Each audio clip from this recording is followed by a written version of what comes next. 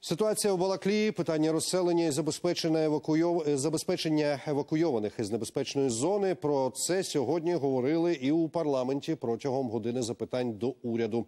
Усі подробиці зараз дізнаємося від нашої кореспондентки Ірини Романової. Вона на зв'язку. Ірино, добрий день. Вам слово. Олексію, вітаю. Дійсно, сьогодні на годину запитань до уряду прийшов голова Державної служби з надзвичайних ситуацій е, Микола Чечоткін. Він розповів про те, як державні органи долають наслідки пожежі у Балаклії Харківської області. Зокрема, він повідомив, що звідти вже евакуйовано понад 20 тисяч людей. З них 2,5 тисячі рятувальники вивезли. Там і інваліди, і пенсіонери. А понад 17 тисяч виїхали самі. Прошу послухати. Для прийому евакуйованих підготовлено понад 5300 місць в приміщеннях схил, дитячих таборів та баз відпочинку. Місцевими органами влади організовано триразове харчування евакуйованого населення, доставку води, продуктів харчування та предметів першої необхідності.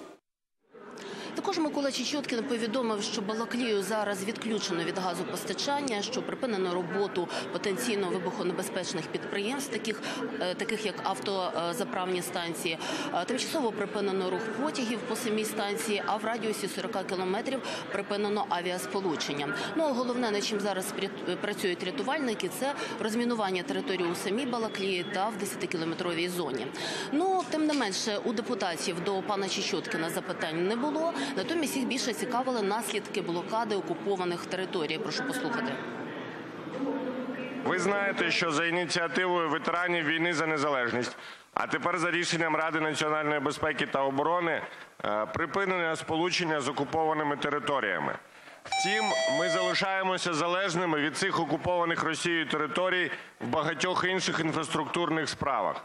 Що робиться урядом для того, щоб, зокрема, забезпечити енергетичну незалежність? Те, що ви своїми діями особисто посилили цю залежність, е, то це однозначний факт. Ви не попали в точку е, щодо, е, так би мовити, больової, больової точки для нашої економіки. Ну, то така справа. Зараз моє завдання і завдання уряду компенсувати це економічне падіння, замінити його економічним зростанням.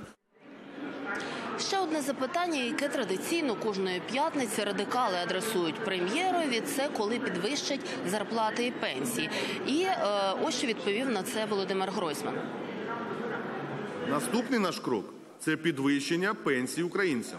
Але це можливо зробити, коли ми проведемо з вами у цій залі. І я надіюсь, найближчим часом, найближчими місяцями повноцінну пенсійну реформу. Це дасть можливість побудувати бездефіцитну систему, справедливу пенсійну систему, і це дасть можливість нам з вами вже в цьому році переглянути розмір пенсії. Ну, буквально півгодини тому урядовці залишили сесійну залу. Там зараз зачитують депутатські запити. Депутати сьогодні працюють лише до обіду, у них короткий робочий день, а повернуться вони сюди через тиждень. Олексію. Ірино, дякую вам за докладну інформацію. Це Ірина Романова, наша кореспондент. Вона працює зараз у Верховній Раді.